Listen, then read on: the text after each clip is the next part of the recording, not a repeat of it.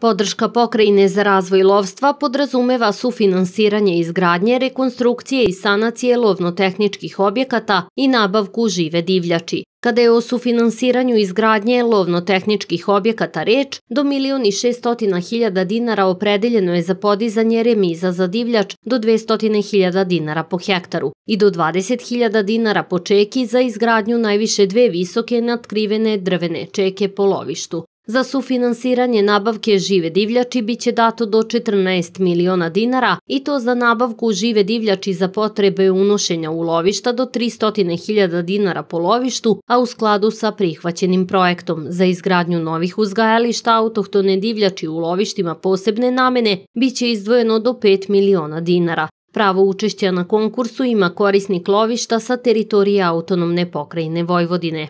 Pokrajina će sufinansirati podizanje novih i rekonstrukciju postojećih ribnjaka na površini ne manjoj od hektara i ne većoj od 100 hektara koji se nalaze na teritoriji autonomne pokrajine Vojvodine. Pod objektima u smislu ovog konkursa podrazumevaju se isključivo objekti za proizvodnju ribe, rastilišta, mladičnjaci, tovilišta, zimovnici, izlovni i obodni kanali. Korisnici sredstava po ovom konkursu su pravna lica sa teritorije autonomne pokrajine Vojvodine koje su upisana u registar poljoprivrednih gazdinstava i nalaze se u aktivnom statusu i to privredno društvo i zemljoradnička zadruga. Sekretarijat dodeljuje bespovratna sredstva u obimu do 70% ukupne vrednosti zemljanih radova bez PDV-a. Preostali iznos ugovorenih sredstava obezbeđuje korisnik sredstava. Celokupan iznos PDV-a pada na teret korisnika. Iznos sredstava za podršku rekonstrukcije ribnjaka ne može biti veći od 500.000 dinara po hektaru.